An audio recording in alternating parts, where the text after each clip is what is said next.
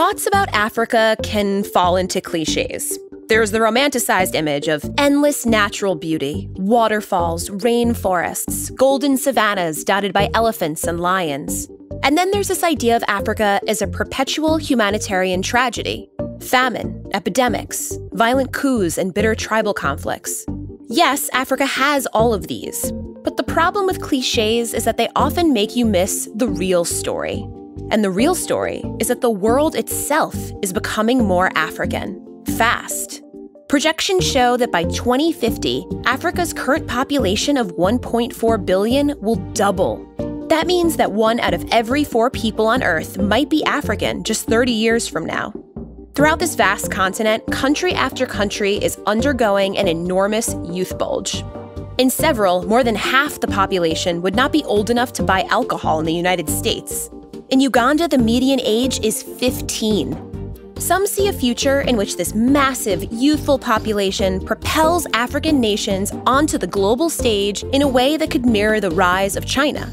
But other experts say that without massive new job opportunities, this rapid growth is a recipe for poverty, radicalization, and violent conflict. I'm Gabrielle Sierra, and this is Why It Matters. Today, the world's African future.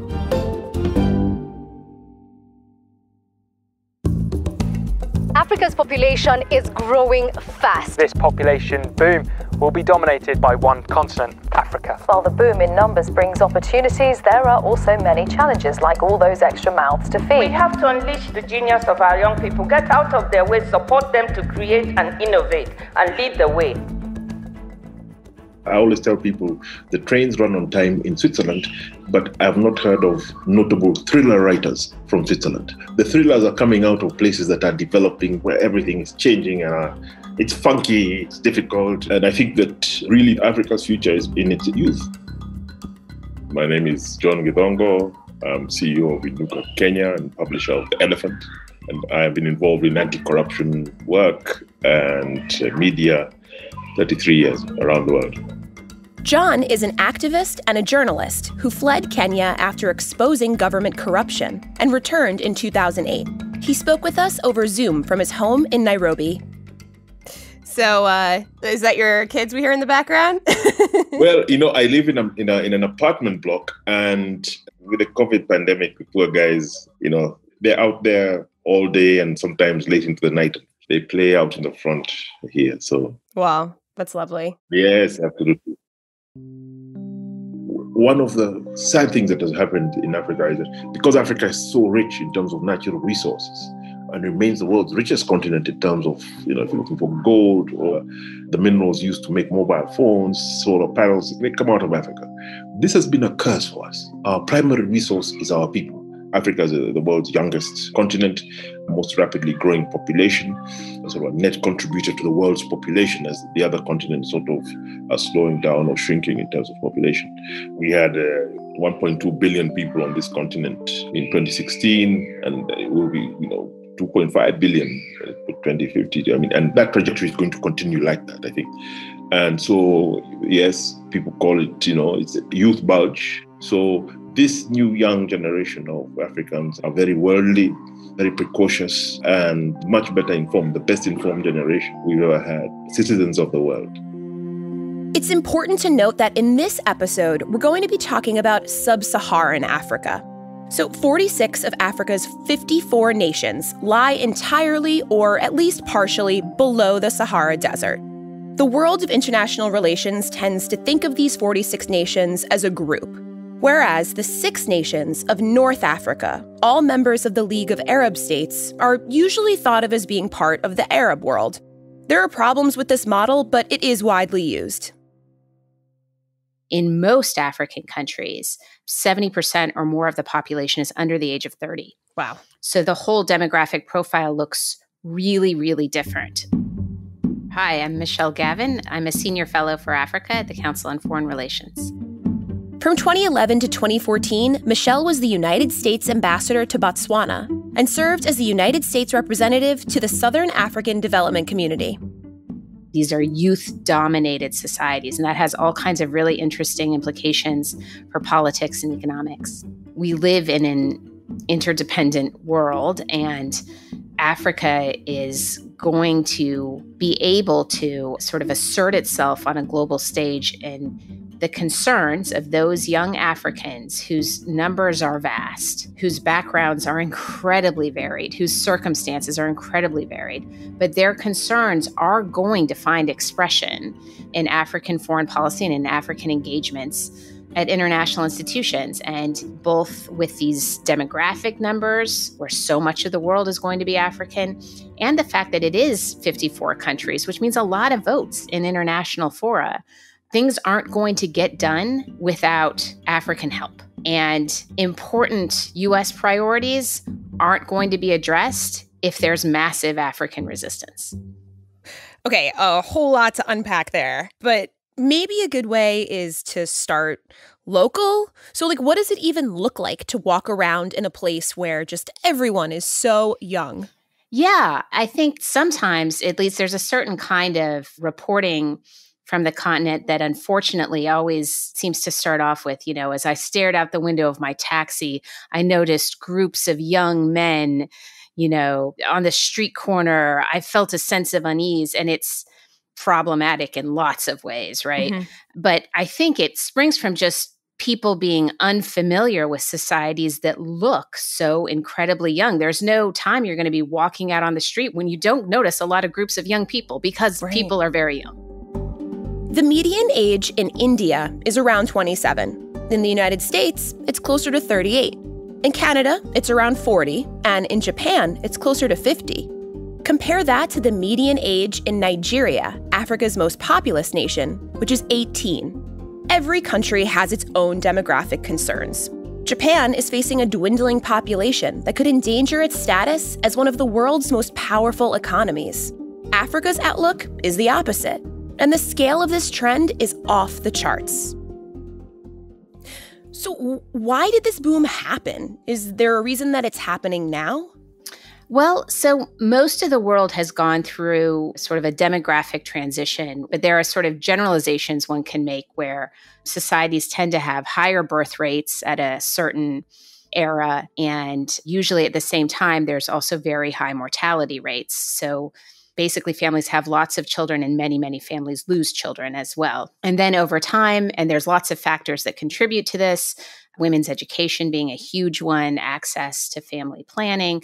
Over time, people tend to choose smaller families and sort of the population pyramid, if you can picture it, with kind of children at the bottom and your most elderly members of society and a point at the top. Over time, that pyramid starts to, instead of being really wide at the base, you know, sort of get taller and pointier. And Africa is sort of at a stage where there's still pretty high birth rates, large families, but there have been huge advances in health and people are living longer, children are surviving. According to the World Bank, in 2018, sub Saharan Africa had an average fertility rate of 4.6 births per woman. This has gone down significantly since the middle of the 20th century, but remains far higher than in many other parts of the world. At the same time, infant mortality has plummeted, and life expectancy has shot up. To put it simply, far more Africans are being born than dying. This is something that happened in East Asia back at the time of their massive economic expansion. And it was something called the demographic dividend. The idea being suddenly these societies had a huge number of working age in their prime people hmm. and were able to kind of harness that amazing potential to make these huge economic development gains. There's innovation all over the continent. This is one of the things that doesn't get enough attention, right? There are, you know, amazing tech entrepreneurs in Nigeria and Kenya. There's incredible scientific research that gets done in Dakar, in Senegal. There's there's a lot. But is there any place that's got a clear roadmap for how to generate the jobs of the future that is definitively going to be successful? No, because there's a host of unknowns. Mm-hmm. you know, most African societies do deal with pretty high rates of unemployment. Now, that's a little misleading in that the informal sector is incredibly robust in a lot of African countries. And sometimes what looks like a bunch of society being unemployed just means that employment's happening in an informal sector. But hmm. there too, when you think about the kind of infrastructure and educational needs for these vast growing societies, eventually you're going to have to formalize that sector if you're going to do the sort of revenue generation that's required. So there's a lot there. But, you know, in different societies, again, of course, look different, right? Mm-hmm. Nigeria, with its incredibly large population, or Ethiopia, with its huge population, look very different than a Botswana with, you know, about 2 million people in a country the size of France. There are a range of projections for where Africa's population boom is headed, and the most common ones tend to be pretty grim. The population of Africa is set to almost double by 2050, raising fears that progress in fighting poverty and disease will be reversed. According to recent research, between 18 and 20 million jobs will need to be created across the continent over the next 25 years.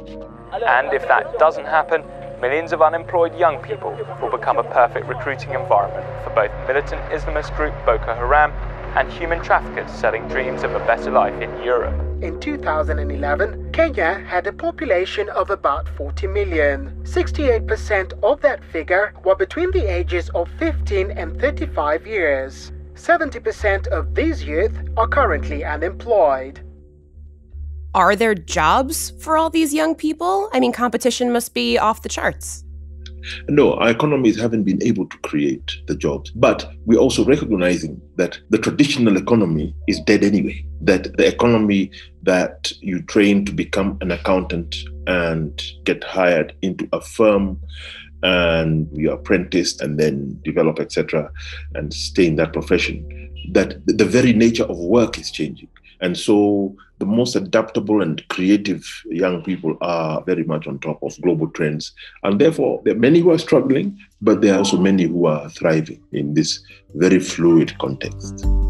The traditional career models that many Africans expected to pursue as they grew up are out of reach. It's a problem that's probably familiar to many American young people as well. The difference is that in Africa, these young people make up a far larger percentage of the population. Given this difference in scale, many experts are reluctant to share John's optimism. Some think that even with innovation, the rate of population growth will inevitably outpace job creation, and that part of the solution has to be to curb population, perhaps through initiatives that fund women's education and access to birth control. The Bill and Melinda Gates Foundation is one of the most prominent proponents of this strategy. They're faced with an almost impossible problem northern Nigeria, Yemen, Chad. And so, what we need to do is take this aid generosity and this innovation and go into those places, offer the women better tools where they want to space birthing or, or have a smaller family size, and improve health because it's amazingly, as, as children survive, parents feel like they'll have enough kids to support them in their old age, and so they choose to have less children. You know, Bill Gates talks about it a lot and all that. That really irritates Africans. You know, I mean, okay, very clever guy, he's very good-hearted guy. He wants to do the right thing, but this is really none of his business about the population thing. We have enough space. Our problem is not population in Africa; it's governance. It's a fact that we have corrupt leadership and poor systems. When I think about all the challenges kind of inherent in the demographics of the continent, I don't think that bringing birth rates down is at the top of the list, right? I don't necessarily see the situation. And again, it's different in each place. It's not that, oh my goodness, there's a problem to be solved here and it's high birth rates, right? It's much more, um, you know, how does a society move forward in a way that's sustainable, given that there are enough resources for all and where people can have opportunity. I think there's no way to sort of get through that without increasing access to education for women and girls then birth rates end up falling out at the size of a family, you know, adult women choose to have. So I mm. don't think one needs to kind of have an idea in mind at where they'd like to see fertility rates plateau out to women sort that out all by themselves when they have some choices. We're going to take a quick break, but when we get back, is Africa's population boom a blessing or a curse? And how are other countries responding to it?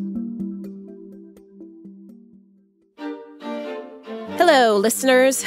So, if you dig all the questions we ask and why it matters, you are going to love this other podcast, brought to you by our friends at Pushkin Industries. It's called Solvable, kind of a natural fit. Solvable is a weekly podcast where Malcolm Gladwell, Anne Applebaum, and Jacob Weisberg ask how we can find solutions to some of the biggest issues of our time. You'll hear from David Baltimore on AIDS, Sal Khan on basic education, and Rosanne Haggerty on homelessness. These problems can seem too big or too complicated to fix. But in the hands of the right people, activists, scientists, policymakers, and politicians at the top of their fields, there are ways to solve them. And that's the hopeful message of Solvable. Listen and subscribe now in your favorite podcasting app.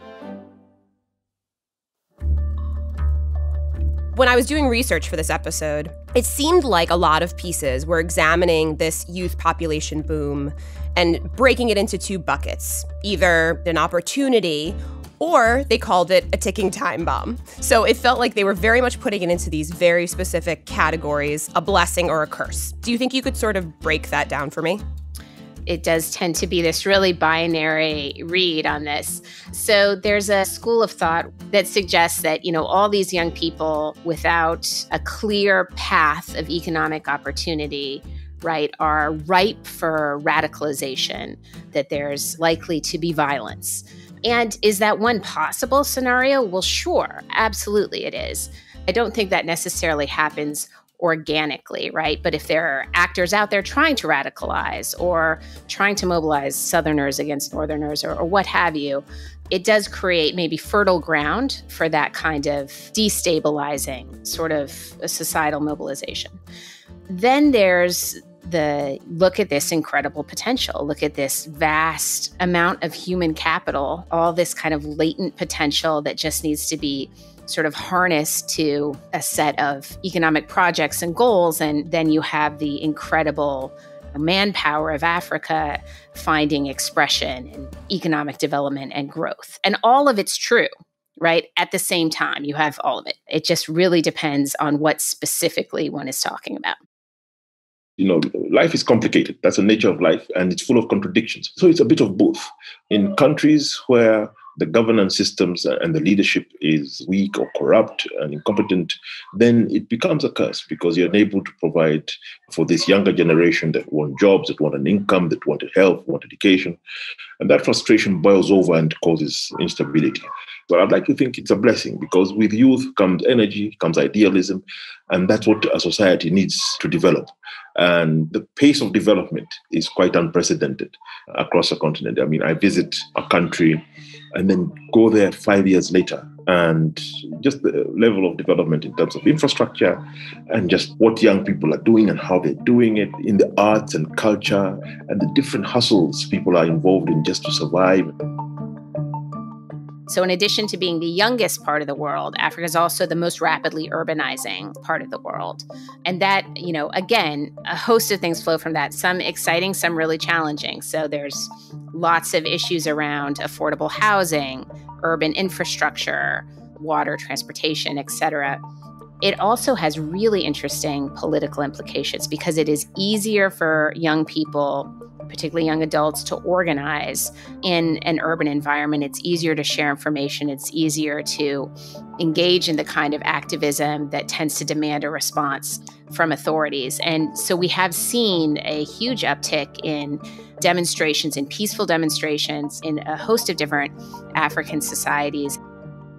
And in the next 20 or so years, some of the world's largest cities will be in Africa. Lagos, Dar es Salaam, etc., will be giant mega cities with tens of millions of people living in them.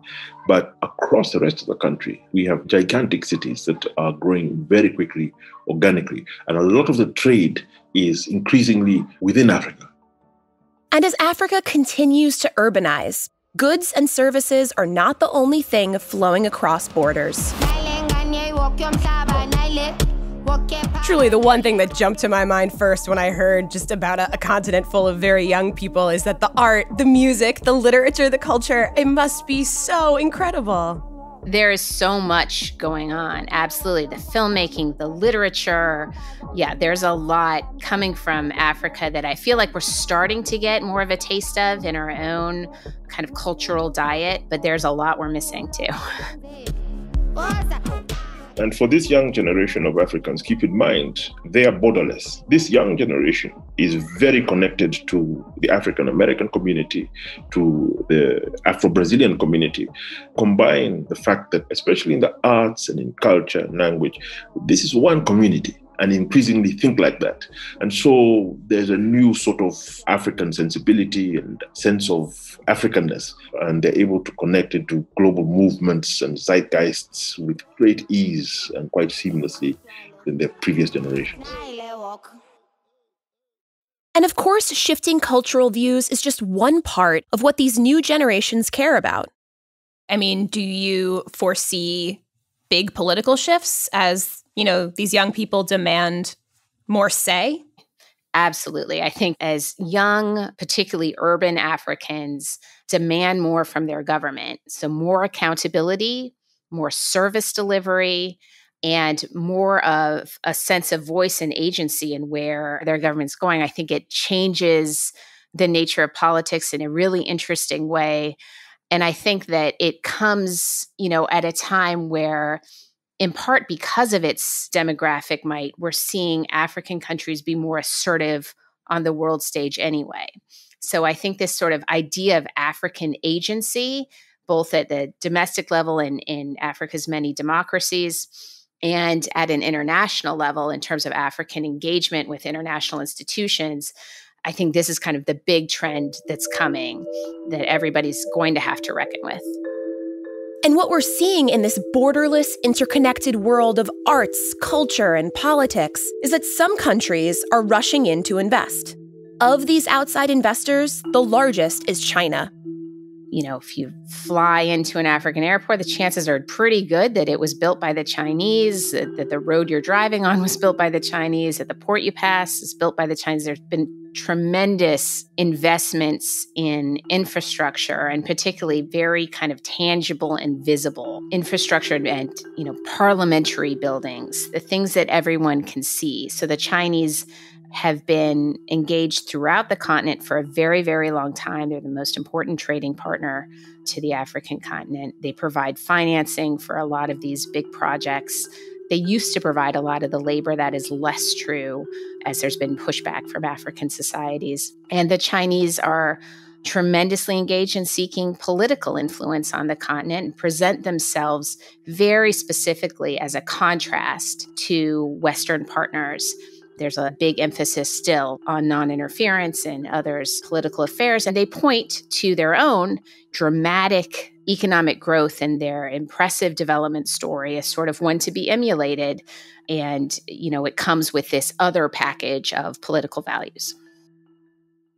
China commercially is now Africa's most significant partner. And that has grown exponentially. Of course, you know, they want the raw materials, but they also need a market for what they're producing as you know the markets in the West become more and more difficult. I mean, it's trade challenges with the US, for example. So there's a lot more anxiety about China in the West than there is in Africa there are problems. People like me who are involved in anti-corruption work are very critical of the fact that yes, they enter into very significant public works contracts. So we've seen a lot of a lot of building of roads, stadiums, schools has improved infrastructure tremendously. There's been a lot of corruption accompanying it, partly because the contracts are very opaque and their system doesn't allow any interrogation of how these contracts entered into, have kickbacks been paid. It's very, very difficult to establish. We've acquired a huge amount of commercial debt from China, which is causing us tremendous problems in a number of countries. And that day of reckoning is coming. But I don't think it's a relationship that is going to slow down. We see the same thing with India, Turkey, Iran. All of a sudden, they're very present in Africa. You know, I was listening to the countries you were listing there, you know, India, Turkey, Iran, and I did not hear you say the US. You know, it is, uh, the US is at once hugely inspiring, tremendous soft power. People want to be like the US. Many of the constitutions that have been written in, in Africa since the 1990s after the fall of the Berlin Wall resemble the US constitution. the US's own political system, which seems to be based on it seems to be based on a gridlock kind of approach to politics.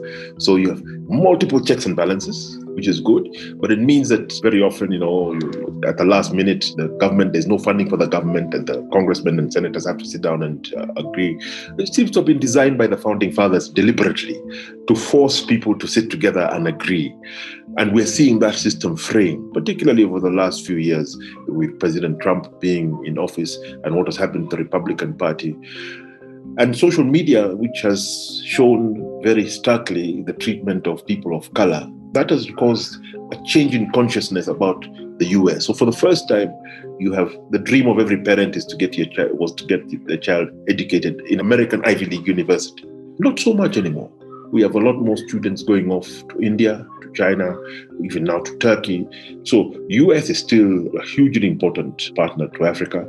Not so much commercially. The commercial relationship between uh, Africa and the US is minor compared to the relationship with India or China.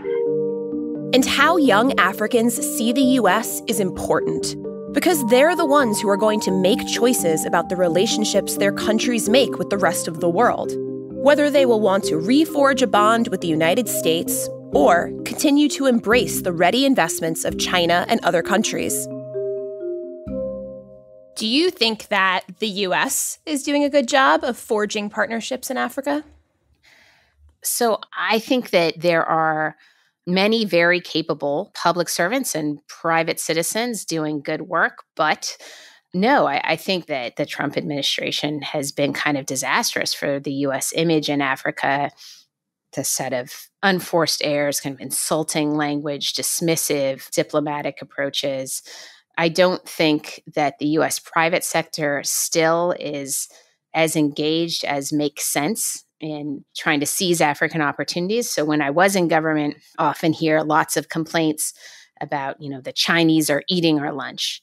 But sometimes when there were major tenders, major opportunities, you wouldn't even have any American firms bidding. So I, I don't know how you can complain about the Chinese or pretend that this is all because of corruption when no one even was in the mix. So there is a tremendous amount of work to be done. And I do think it starts with exactly what this whole conversation's been about. It starts with Americans getting more aware more educated. Because it does seem like with this much at play, there are so many strategic and economic opportunities to be a constructive part of Africa's boom.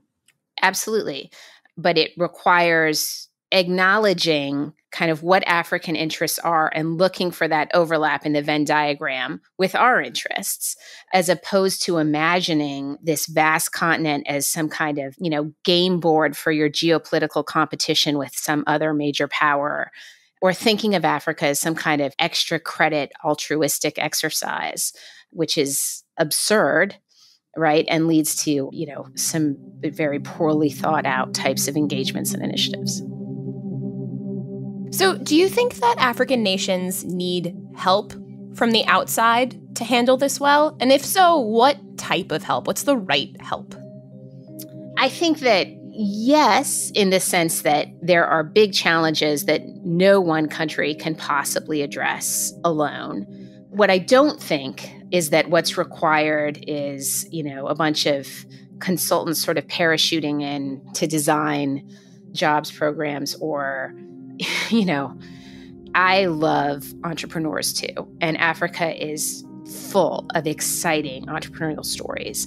But if you look at the sheer numbers of what we're talking about, right, you're not going to entrepreneur your way out of this problem of how to create these jobs, right? Everybody isn't going to start their own business. That's insane. That's not the kind of numbers we're talking about in terms of the number of people who need work that is going to provide enough for them to have a dignified life and provide for their families and, and move forward that so I think there's a global conversation that people have been having about the future of work that very strangely rarely seems to include Africa. It's nuts to me that people sit down in Davos to talk about the future of work and nobody's speaking from the point of view of the part of the world that's going to have the largest labor force you know, and uh, there are these pat answers around entrepreneurship, around leapfrogging technologies.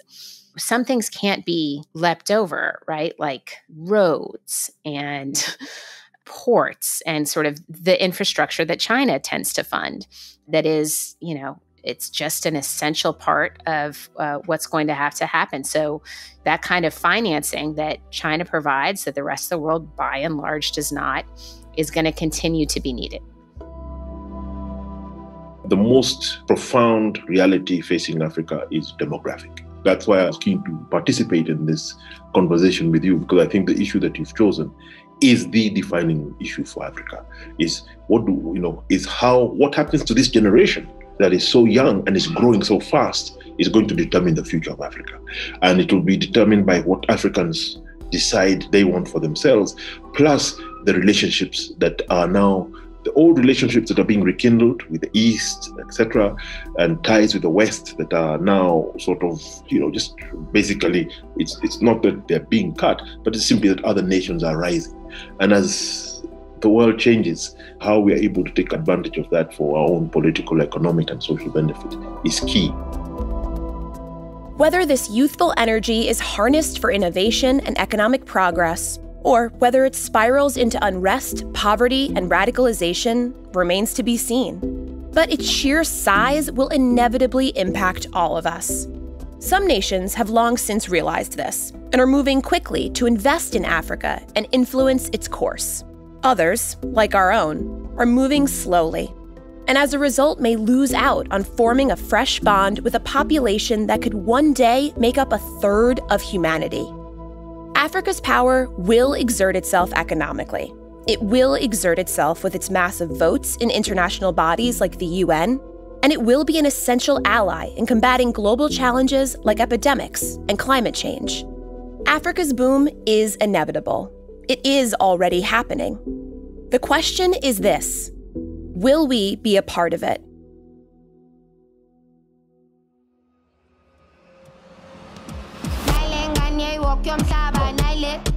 For resources used in this episode and more information, visit cfr.org slash why it matters and take a look at the show notes. Have a question or some feedback? Feel like just saying hey? Send us an email at whyitmatters at cfr.org. Subscribe to the show on Apple Podcasts, Spotify, Stitcher, or wherever you get your audio. And please, please, if you're a fan of the show, show us some love. Give us five stars and leave us a review on Apple Podcasts. It means so much to us, and it really helps us get noticed. Why It Matters is a production of the Council on Foreign Relations. The show is created and produced by Jeremy Sherlick, Asher Ross, and me, Gabrielle Sierra. Our sound designer is Markus Zakaria, and our intern is Sanaya Mason. Robert McMahon is our managing editor, and Doug Halsey is our chief digital officer.